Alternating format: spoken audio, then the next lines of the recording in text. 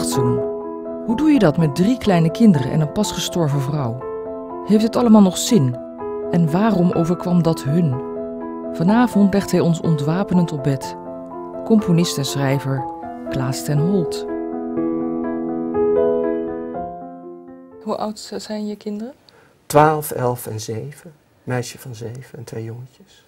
En konden ze het begrijpen toen hun moeder nog leefde dat ze dood zou gaan? Ja, dat kun je ook aan mij vragen. Ja.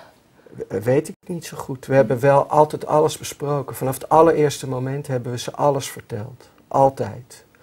Dat kon ook niet anders, omdat wij het zelf, weet je, dat ligt zo voor in de mond. Dus de kinderen wisten alles. Ze waren er ook bij toen Bibian doodging, want ze is thuis gestorven. Ach. En uh, ik denk, hoe moeilijk dat ook voor ze is, want het is natuurlijk verschrikkelijk uh, als je moeder doodgaat, zo, als je zo klein bent. Uh, denk ik dat ze toch later wel het gevoel zullen hebben dat ze serieus genomen zijn. Mm -hmm. want eh, ik zou zelf, denk ik, ik heb het ook meegemaakt, want mijn ouders zijn allebei jong aan kanker gestorven. Oh, echt waar? Ja, lang geleden wel al hoor, maar ik heb dat meegemaakt. En ik ben ook overal bij gehaald. Ik was er ook bij. En daardoor heb ik me toch serieus genomen gevoeld. Mm -hmm. en, en heb ik ook op een soort van eigen manier afscheid kunnen nemen. Mm -hmm. En uh, ik denk dat dat heel vreselijk is als je daar buiten gehouden ja. wordt. Dat dat uiteindelijk, ja, dan voel je je toch afgewezen. Ja. Of... En, en dan wordt ook je verdriet ontnomen. Ja, nou ja. Praten ze erover? Ja, op gekke manieren. Het is een beetje raar soms. We waren zondag naar, even naar het graf. En Lulu was een beetje dwars, mijn dochtertje. Die heeft, ging een gek dansje doen daar op het graf. Ik begreep het niet helemaal. Ik vond het ook wel leuk. En, en ja, dat voor haar is dat natuurlijk toch ingewikkeld. Is zij daar bij dat graf of is ze er niet meer? Volgens mij is ze daar helemaal niet. Nee. Ik voel helemaal niks. Ook thuis niet als ik in bed lig. Er zijn allerlei mensen die zeggen, ja, ze is er nog. We hebben er zelfs liedjes over geschreven.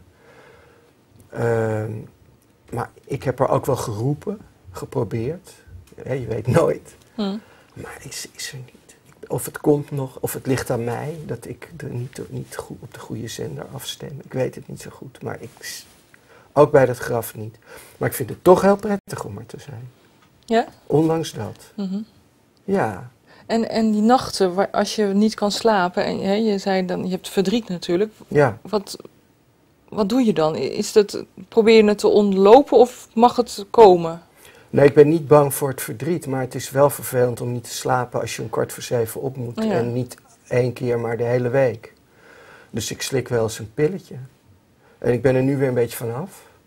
Want die moet, moet je natuurlijk een beetje mee uitkijken, dat het niet een soort verslaving wordt. Dat gaat heel makkelijk.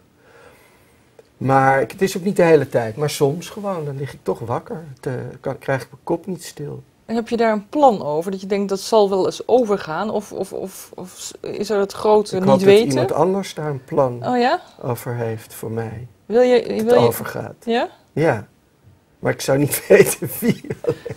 Maar Ja. zoek je toevlucht tot, wil je hulp? Of, Oh, nou, wat ik doe is, ik schrijf elke dag Ja. een blog. Ja, en dat- dat, is natuurlijk therapeutisch ook. Ik heel schrijf, mooi ook, vind ik. Nou, dankjewel. Ja.